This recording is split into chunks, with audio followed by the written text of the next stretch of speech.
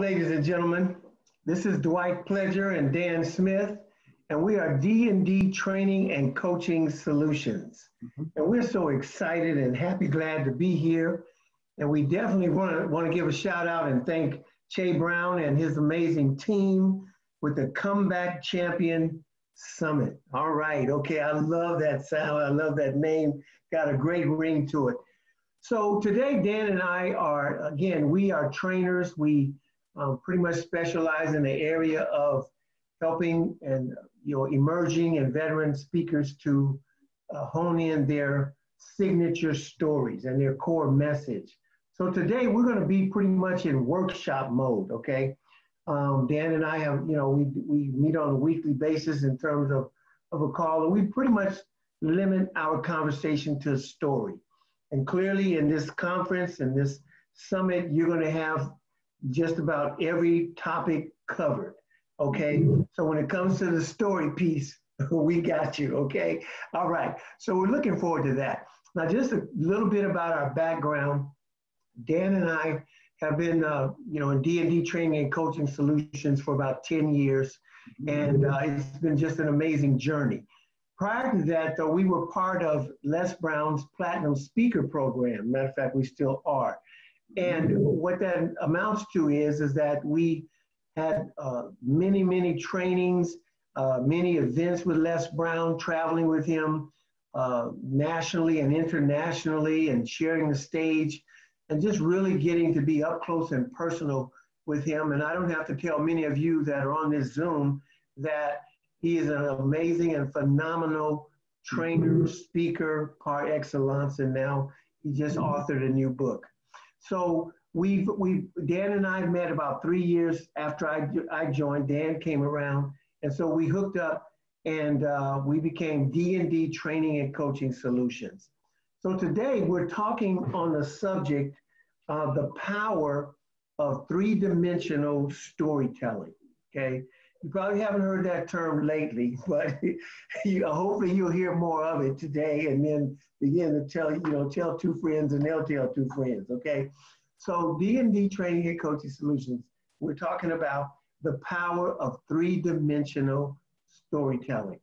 Now, what is three-dimensional storytelling?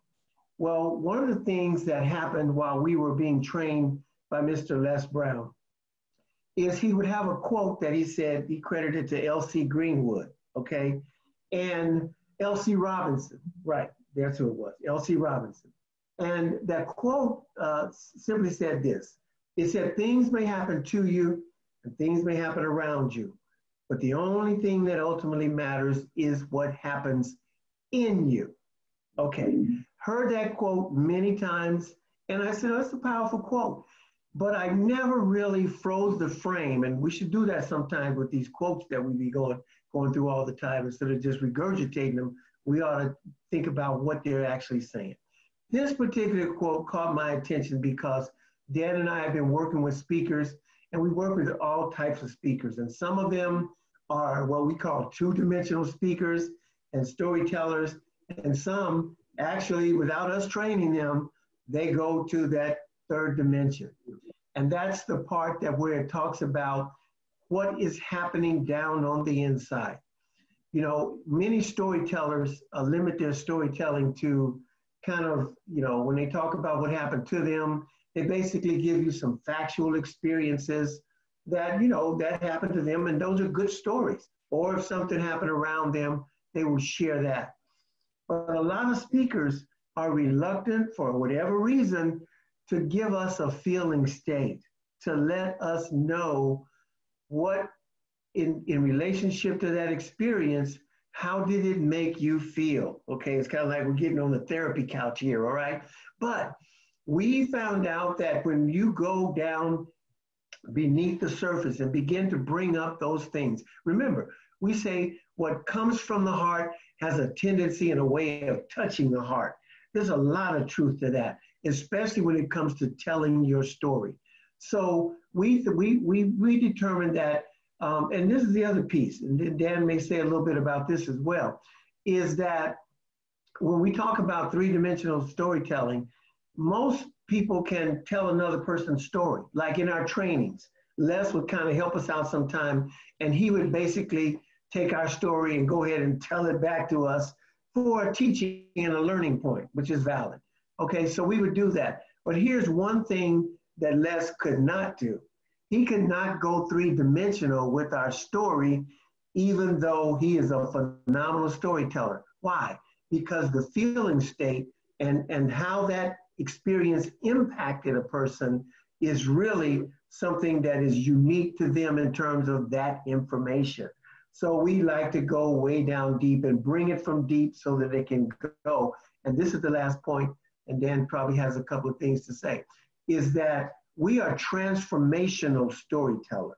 We are mm-hmm. transformational trainers, which means that our, our goal is to be um, speakers and storytellers that are not only um, tickling the senses in terms of the gray matter and, and getting people excited about whatever it is we're talking about and painting the picture, but we want to get down into the heart where decisions are made in terms of making changes in our lives for the better. So we're transformational storytellers and we're transformational trainers. Anything you want to add to that, Dan? Yeah, I just want to say that, you know, you made a great point when you said if, if Les Brown cannot tell your story better than you, and he's a phenomenal speaker. And why is that? It's because he did not have that experience. You're the one that had that experience. The only thing that Les Brown can do is interpret the story that you told. And he can add to it how it made him feel. You know, and, and I, off, I often say when you talk in 2D and you, and you talk with logic and you do that, you talk to somebody's mind, they'll think about what you have to say. But when you talk to their heart, when you give them from your heart to their heart, they will yeah. act on what you have to say. And you're the only one who can tell your story. No one else can tell it because they did not experience it. Even if you were a twin and did identical things every single day of your life, you still, each of you had a different variation of the same experience. That's right. I love that. So, and a lot of times, one of the things about going three dimensional, as we say, or going 3D, that you'll hear us say from here on out, is that um, many people have things that are a part of their story, their signature story. And we were talking on our call the other day, and we were talking about th- these three different stories that we all have. And that is our, uh, our public story, you know, the one that everybody knows. Then we have another story, which is that private story. That's the one that when we come in back into the, you know, our homes or wherever we, you know, our environment, home environment, there's a whole nother story going on that the public is not even aware of. And I'm not saying it's a negative thing or anything. It's just a different story that each person is privy of. And then there's another place that we go in terms of story, and that is in terms of our secret story. Things that many of us know about ourselves we have some of them we've never shared with another person. We, we're almost trying to keep it from God, okay? but but the reality is is that everyone has those three levels. And the, the, the interesting thing about that is is that um, sometimes we can be having a part of our story that for a long time was secret, okay? And for whatever reason, we decide to bring that up to the next level and maybe even allow whatever that secret thing was to become something public. Okay. And that's really, really, really powerful. So in our in our coaching, we work with, with uh, speakers about how to maybe upgrade and bring things from a deeper level, but they want to make sure that they're ready to bring those things to a deep to a to out into a, another space, especially when you're talking about the public. So when you when you're talking about the, you know the private and bringing it up, there's a difference between bringing it up and bringing it out. Bringing it out is a choice. So you can work yes. on your own story. You can go 3D within yourself. And what happens when you go 3D is you you look at it from a different perspective and you reframe it. And in reframing it, it loses some of its control over you. You get to make more decisions. It may be leading you to certain uh, behaviors or to avoid certain behaviors. But once you process it, you are more comfortable doing the things. And in the beginning, it's very subtle, but it's yeah. that process of going back and reevaluating and getting very personal with yourself. Yes, yes. And the last place we, we're going to go before we go into a, an illustration of um, a short story in which you will hear one, one part of it told in, in two dimensions, and then you will hear a contrasting part told in three dimensions. And here's the last thing we want to say is that we've learned in our own in our own stories and how we share and, and the level of transparency that we bring uh, into our stories as we are sharing with others, whether to the one, to the many, or to the masses, we have found out that many people have experienced a tremendous amount of freedom after they have let something they had locked in, locked behind those doors with five or six padlocks up and down, and they basically decide they're going to share something, you know, not because they want to, you know, brag or whatever, but because they're ready to make that a part of their entire story. And so there's a tremendous amount of freedom there. And people express that when they're able to begin to talk about things on a deeper level, it brings a certain level of healing. So today, Dan and I are going to share some parts of our story, and some of it's very personal to us, but we want to share it with you for a redemptive purpose that you might be able to um, see an illustration of maybe a, an area of storytelling that you want to get involved in and you want to concentrate and be more intentional about. So Dan uh, is going to share, and he's going to set it up. He's going to share you an illustration of a two-dimensional story being told and a story being told in 3D or three dimensions. You know, it's it's interesting, Dwight. I am going to do that. I'm going to do it in 2D first, and then I'm going to do it in 3D. But we talked about being part of Les Brown. In the beginning, we were all 2D speakers. And I've developed so far that the one I struggle with now is the 2D. I want to, I want to automatically go to, to 3D. But this is going to be just a part of a story. It's not the whole story. It's just an illustration. So you're not going to get the all of it, the complete thing. We don't have time for that. Yes. So to set it up, I never got along with my father at all. And my father was an alcoholic, and I think he also maybe suffered from depression. And no matter what I did, no matter how I tried, uh, I just couldn't get through to him. We just couldn't. We just couldn't have the father-son relationship that I wanted to have. So I moved to California, and I've been there 10 years or so, I'm in my, my mid 30s, and I get a phone call. Mm. It's my mother. I got some bad news for you.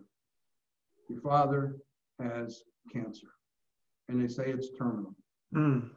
And what, ha- what went on in my mind was first, I felt for him, but I also felt for me because I, I realized that the clock is ticking and uh, I needed to do something and I didn't know what to do. So I just said, okay, let me let me think about this and I'll call you back. The next day, I called my mom and I said, if I send you and dad a ticket, will you come out and visit me in California? You haven't been here. I've been here 10 years. You haven't been here at all.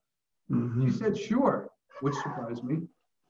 So I did. I sent him a ticket. But right before it was time to come out, my mom called me and said, I'm not coming. It's just going to be your dad. So I said, Is he going to be okay? She goes, Yeah, I told you, get him a, a nonstop get, I'll put him on a plane. You take him off the plane. Where's he going to go? Very matter of factly, logically, you know. And so he flew out, and we spent a week together, maybe 10 days. And it was 10 days unlike any other 10 days we've ever had in our life. We went to places, we did things. I really enjoyed it.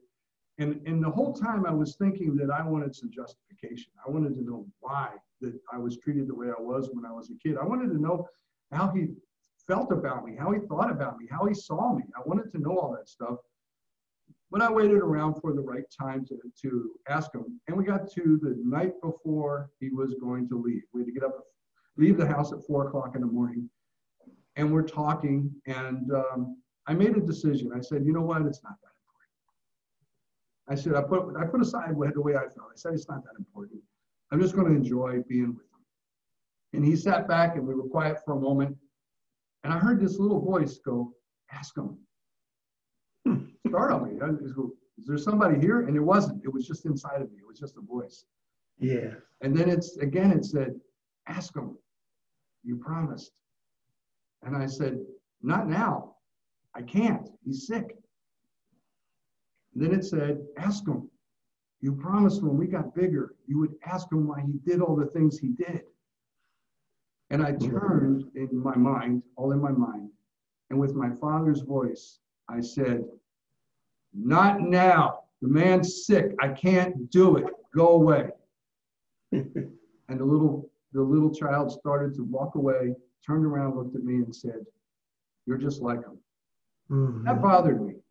So I made a decision that for me and for, for my past and for the inside of me that still needed healing, that the next day, since we were leaving at four in the morning, it would just be me and him on the way to the airport. I was going to ask him. But my 11 year old son got up and got in the car at four o'clock in the morning. And I'm driving there and I couldn't ask him. Yeah. We did talk. We did continue to talk like we had all week long, like we had never done in our life until we got to the airport. When we got to the airport, it was just silence. Dad, you need anything? Nah, I'm good. Need to go to the restroom? Nah. If I have to go, I'll go on the plane. Okay. Well, they're calling your seat. I know. Aren't you going to get on the plane? Yeah. Very simple, one word. That's all it was. Yeah. And then everybody was on the plane except him. And I thought, is he not feeling well? Is he, what's going to happen here? And he looked at me and he said to me, Thank you. First time I think he's ever said thank you to me in, in my life. Mm. He said, I've learned a lot. And that surprised me. You learned from me? I thought you always thought I was an idiot or something like that. And I walked over and I felt like I physically did this. My hands opened. And I think what happened is I dropped the baggage I was carrying right there on the floor. Wow. And I think he did the same thing. And then we hugged each other and we said, I love you. And then he walked away. And as he walked away and he walked down the, the gangplank into the plane, he got smaller and smaller in my vision, but he grew larger and larger in my heart. And as he was walking down there, my son said, Isn't Grandpa going to turn around? I said, No, he can't. It's taken mm. everything he's got for him to walk away from us. Mm. So that's 2D. That's what happened it's to me, and that's what happened around me. Yes. Now, let me tell you what happened within me. My father came out to visit me. And as I said, we, we, we never got along. I was feeling anxious. When my mom said, Your father has cancer, I felt for him, but I felt just as strong for me. I got to resolve this. I got to know how he feels about me because I don't know how to feel about me. And I sometimes act like him and I don't like it. I don't want to be him. I want to be me, but I don't know who I am. So my father came out and we had the greatest time. We, we played catch for the first time ever. I'm 36 years old. He's 64 years old, and we're playing catch for the first time. Wow. We went places, we did things, and I'm feeling so great about this. And little by little, the thought of confronting him started to diminish. Mm. And then finally, on the last night that he was there, we're talking. And I was listening to him and I said, I don't need to know. I'm going to let it go. Not even knowing if I really could do that. I think I was, honestly, I think I was lying to myself. And I'm sitting there and I hear this voice to the side of me go, Ask God. What? Who's that? Ask him why he did those things. and I looked and I literally in my mind, I didn't turn my head, but I looked that way. And I, because I didn't want my father to know what was going on. And I saw me. And I looked and I said, I can't. I can't. I was pleading with myself. I said, I can't. The man's sick. He's got cancer. Mm. And the little boy said, You promised when we got bigger, you would ask him why he did those things. And then my father's voice came to me. And I turned to him and I said, I can't ask him. He has cancer. Go away. the little boy put his head down, turned away, turned back and looked at me and said, You're just like him. It was like ice water was poured on me and injected into me at the same time. And I realized that I abandoned myself one more time. So I made a decision. The next day I'm going to ask him. I don't care what I got to do. I don't care what, I don't know where I'm going to get the courage, but I'm going to talk to him. Leaving at four o'clock in the morning, I knew that would be the, just the two of us, but my 11 year old son decided to go. He got himself up. I didn't even have to wake him up.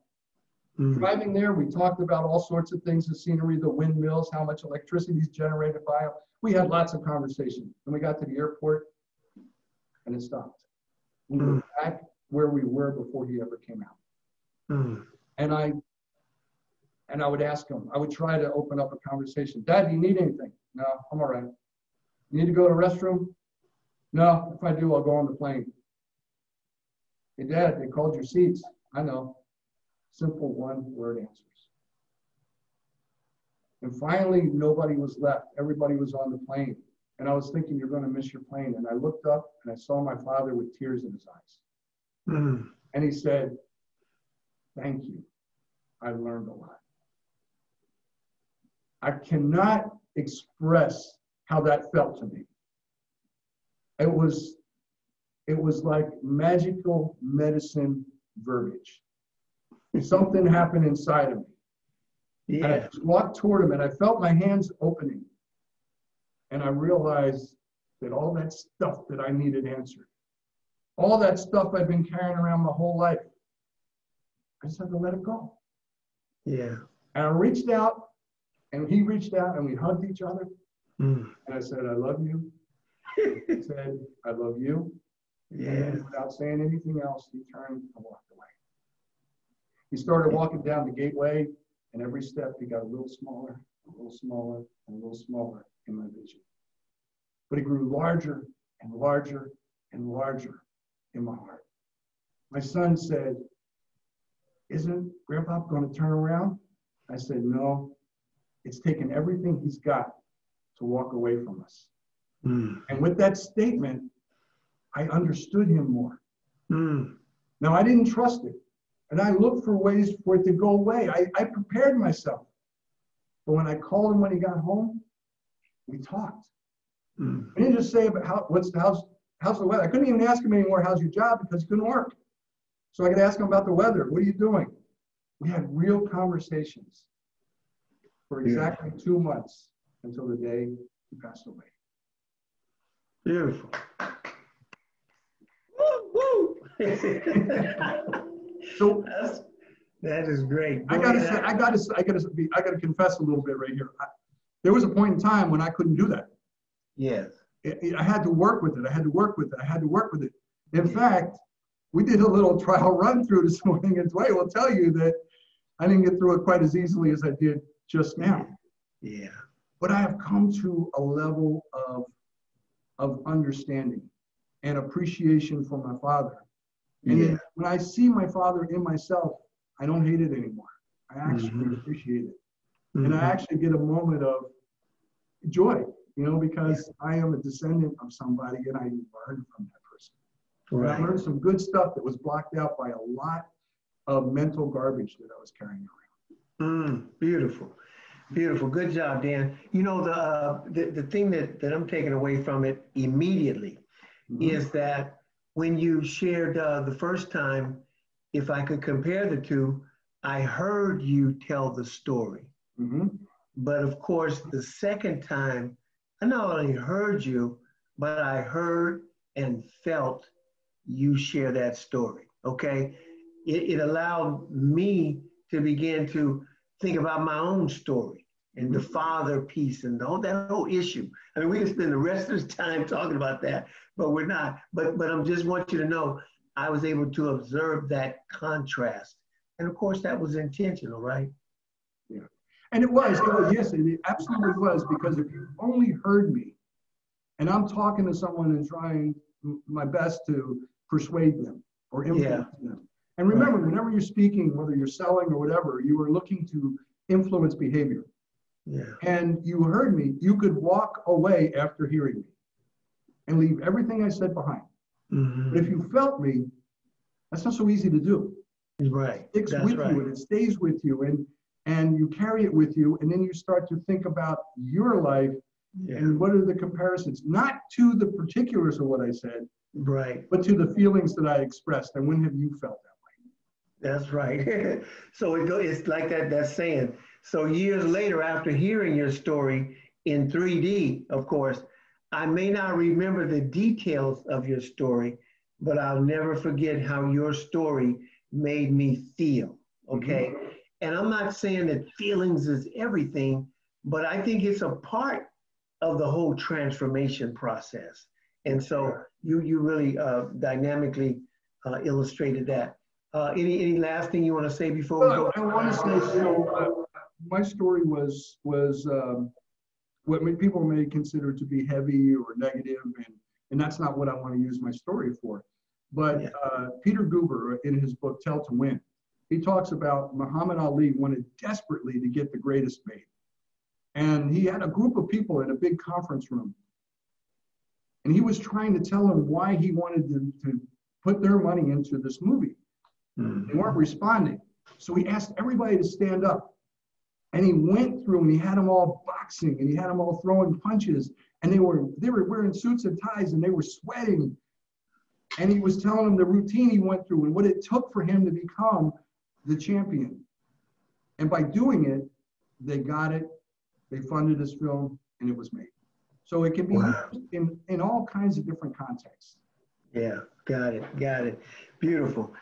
Okay, so we're going to go to another place now, um, dealing with uh, another uh, portion that we want to share with with the uh, Zoom audience today and the and the champion comeback champion uh, summit audience, and that is we're going to talk about another area that we work with speakers on in, in the in the storytelling uh, genre, and that is how to leverage a defining moment. Mm-hmm. How to leverage your defining moments. And before we go into an illustration, you know, defining moments, and here's how we kind of frame that. And again, it's another quote. And yes, we heard Les Brown sharing this quote before, but but that's that's what training's all about. You know, we we learn, we earn, we pass it on. So to hear him share it, now we take it to another generation because I'm going to share with you. He said that Denzel Washington said in life that there is the moment and then there is after the moment in which nothing is ever the same again. Think about that. As you look at your life, as you think back on the, the things that you've gone through in life, clearly you could, if you give if given enough time, you could probably come up with two or three different defining moments that were not just moments that kind of impacted you, but they were moments that literally changed your life. In other words, there was before the moment, and that, whatever that, however that's described or understood, then there is that impactful moment. And all of us have some of that in our life. Some of us got those kind of moments and experiences in our family of origin, in our childhood, things that literally changed us from that moment on. Okay. And then, of course, the other piece is there's after the moment in which it's a contrast to before because something changes and the genie never gets put back in the bottle or the toothpaste back in the tube. That's, that's exactly right. You know, with my story, I walked out of there doubting it. I, de- I walked out of there trying to fight it. Yeah. Not trusting it at all. But you know what? it was real and mm-hmm. and it changed. Uh, that was 26 years ago. Yeah, 20 and, and 26. That's right. 26 years later, you're still remembering it, still experiencing it. Now that's that's the heavy part there, like you did earlier. Living by it. Say again. Still living by it. That's right. That's right. my day-to-day life. Yeah, that's right. So clearly, that that moment at the airport, and that not necessarily that just that moment, that visit by your father, which was the final visit, mm-hmm. did something that changed the course and destiny of your life in terms of how you process your father and your experience with your father. That, that's a powerful thing. So um, we're gonna we're gonna then share. I'm gonna share um, a defining moment. Well, I'm gonna I'm gonna actually share two defining moments. Okay, remember we talked about a defining moment as in life, there is the moment, there is before the moment, there is the moment of whatever that event was, and then there is after that season or that event that takes place and things are dramatically different and they remain that way probably for, through the course and destiny of your entire life. So I've been sharing my story for at least a good a good 32 to 33 years because I came out of an addiction cycle about 34 years ago. And shortly after that, I got to the point to where I was healed enough uh, to be able to tell my story, Mm-hmm. give my testimony. I was doing it in churches and places where I could go and share my testimony. And then I ran into Mr. Les Brown again in 2004. And I was able to take my story to a whole nother level in terms of getting the coaching, getting the feedback, because you can't see the picture when you're in the frame. And so I've been had a lot of experiences sharing my story. So I'm going to pick out just two events, and I want to basically um, freeze the frame on those two events, and then of course make the point about um, a defining moment. All right? Okay. So the first is is that um, I, and I, as I share my story, I talk about being married to my childhood sweetheart and our early beginnings and how we, I was moving up the success ladder and everything looked like, you know, we were on our way to the top and, you know, had a lot of possessions and things. In other words, life was good. I was making money. And I remember that one day, it was the summer of 1979. And I remember I was at a friend's house, and then her friend came in, and he had this, you know, little bag, and he pulled out this contraption that I later learned was a freebase pipe, okay, for smoking cocaine. Um, so he took out this pipe and he took out the little container and poured this cocaine on the screens of this pipe, okay. And I remember him putting the heat to it, taking in that big chest full of smoke, and he blew the smoke out. And I looked at that and I was mesmerized. And then he turned and offered me some. And in, in that moment, I had a decision to make. I could say yes, or could I, I could have just said no. It was Warren Buffett who said, the chains of habit are too light to be felt until they are too heavy to be broken. And truer words were never spoken because I took that hit of cocaine blew the smoke out, and in a spirit of invincibility and arrogance and pride, I thought to myself, I can handle this drug. Well, it wasn't long before um, that that became the, the, the obsession of my life before, because before that year ended, I was hopelessly addicted to cocaine. Every waking minute was consumed with how I would get and use this drug. And it wasn't long before the toothpick castle we had built began to crumble room by room. First, the, the cars were gone, and then the house was gone, then the real estate business, the brokerage firm. And then in 1981, I did the unthinkable, walked out on my wife and children, and moved 500 miles up the coast of California and landed on the streets of Oakland using, selling, and caught up in just a crazy, maniacal, maniacal lifestyle. Okay. Now, my question, Dan, to you. Mm-hmm. Could you recognize, and, and to you that, that heard the story, yes. could you recognize an explanation or a picture of before the moment? Yeah. Oh, yeah. Before the moment, life was good. Yes. Like you, like you often say, you know, uh, you were headed to the top.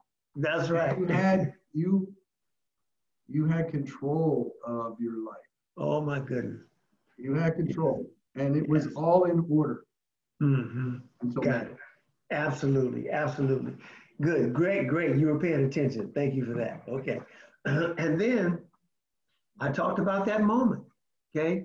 And clearly it was a moment, you, you know, and you remember me sharing that, that moment at that, at that friend's house and taking that first hit.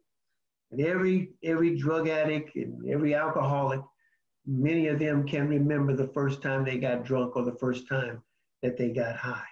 So that moment took place, but there was power in that moment because the, my next question to you was could you see the contrast between the before the moment, and after the moment. Yeah, after the moment, you, you, you lost control. You said you were helplessly addicted. You didn't say you were addicted. You didn't say it was a choice. You said you were yeah. helplessly addicted. Absolutely, absolutely. So, okay, so let, let's let's go to another defining moment because these two these two defining moments are literally bookends. And when we talk about stories and we're using defining moments, oftentimes a great way to, to after you have laid the foundation for your story, oftentimes uh, a defining moment is a good way to transition into what we call the journey of your story. And some of you might call that the body of your story. But it's a great way to make a transition.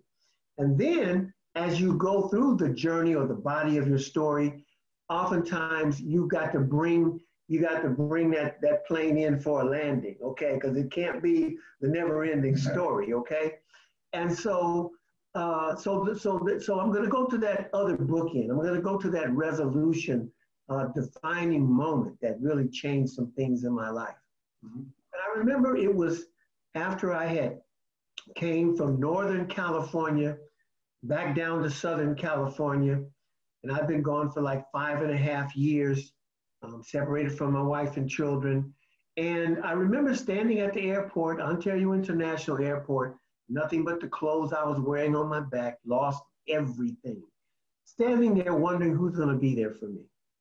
The truth was, no one owed me anything. And I remember looking and coming around the corner, and this old Chevy Nova car was my wife. The woman I had walked out on five and a half years earlier, leaving her to fend for herself, her and the kids. And what I thought about was is that at that moment is she should have done a drive-by. But she didn't do a drive-by because when she could have chosen to hate, she chose love. Mm. She could have chosen revenge. She chose to forgive. And it's been said that forgiveness is like the sweet fragrance that a rose leaves on the foot that crushed it. I got in that car, left that airport, headed down a long, incredibly long road to restoration. Mm. And I remember I struggled with that addiction. Okay, remember, I got in that car still an addict, still wanting to go get me a hit of cocaine somewhere. And I struggled with that addiction for another two and a half months until what I like to say it was the third Friday in June of 1986. I had been out getting high with a friend all that day, smoking and using drugs and running to and fro, trying to get us a hit from this place and that. And we ended up at uh, my sister's house, and she was out of town. She's the one that kind of helped me to get from northern to southern California. And but across the street was a was a place where drugs were being sold, drugs were smoked. So I was over there getting high with my friend, and it got down to where I didn't have any more drugs. And I remember begging my nephew for just one hit of crack. Please, just give me one hit. And, he, and, and I had to have just the most pathetic look on my face. But he gave me that one hit. I remember taking it, blew the smoke out, turned and hit it towards the door. Told my friend that I'd been with all day, I said, man, that's it, I'm through. And I think he thought I meant, oh, we're through for the night. We'll hook up tomorrow, bro. And he took off and went on his way. But what he didn't realize that there was something going on down on the inside. Mm-hmm. I was I was beginning to deal with the shame of what I had been for the past seven years.